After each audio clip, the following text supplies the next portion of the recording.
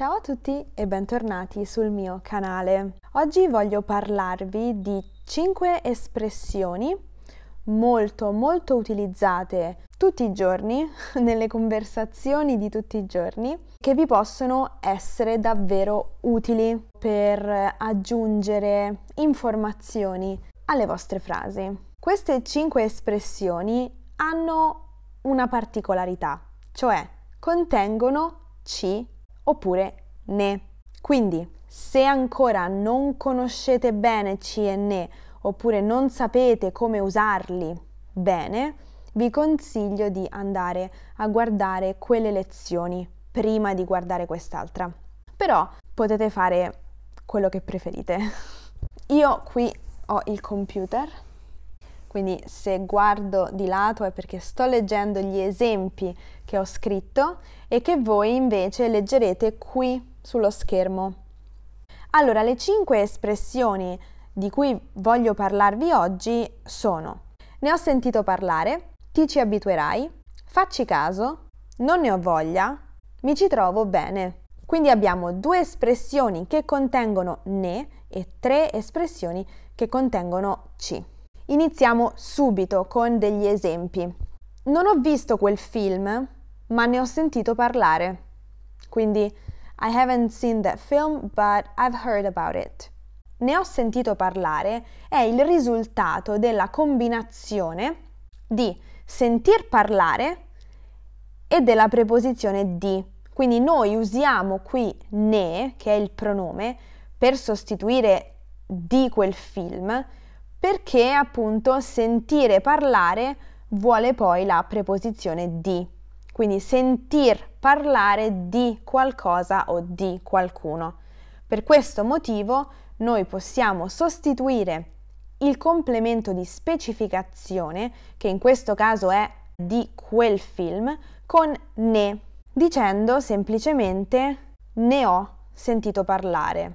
Va bene? Questa frase è davvero molto utilizzata nella lingua parlata di tutti i giorni e penso che vi sarà molto utile nelle vostre conversazioni. Poi, è solo un mese che vivi lì, ti ci abituerai. Ti ci abituerai significa you will get used to it, you'll get used to it. Perché utilizziamo ci qui? Perché il verbo abituarsi vuole poi la preposizione a, abituarsi a qualcosa o a qualcuno. E quindi poi sostituiamo il complemento che segue con ci. Quindi già abbiamo eh, ripassato che possiamo usare ne quando nella frase dobbiamo sostituire un complemento di specificazione introdotto dalla preposizione di e possiamo utilizzare ci quando dobbiamo sostituire un complemento indiretto introdotto dalla preposizione a. Poi, Simona si comporta in modo diverso. Facci caso la prossima volta che la vedi. Facci caso significa fare caso a qualcosa. Quindi ritroviamo la preposizione a. È per questo che noi possiamo usare ci. Facci caso significa pay attention, quindi pay attention to her behavior next time you see her. Facci caso la prossima volta che la vedi. Poi, dovrei andare a fare la spesa, ma non ne ho voglia. I should go grocery shopping, but I don't want to. Non ne ho voglia. Non ho voglia di fare questo. Non ne ho voglia. Anche questa è una frase che potrebbe esservi utile quando volete dire che non avete voglia di fare qualcosa. L'ultimo esempio è i miei colleghi sono simpatici, mi ci trovo bene. Quindi uh, my colleagues are nice, we get along well. Mi ci trovo bene. Quindi io mi trovo bene con i miei colleghi. Possiamo usare ci anche quando il complemento è introdotto da con, quindi mi trovo bene con loro, mi ci trovo bene. Trovarsi bene con qualcuno significa andare d'accordo con qualcuno. Vi faccio un altro esempio con questa espressione. Ho acquistato un nuovo programma per montare i video. Mi ci trovo bene.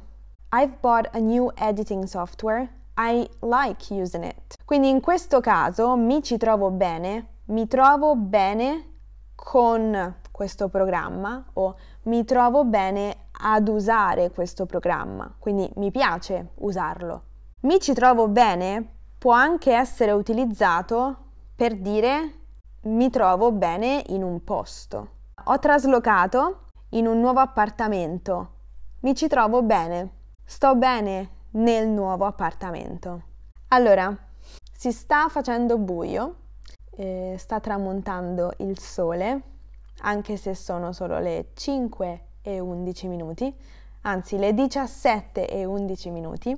Spero che questo video vi piaccia, spero che lo troviate utile e ovviamente se avete domande o dubbi lasciateli nei commenti qui sotto.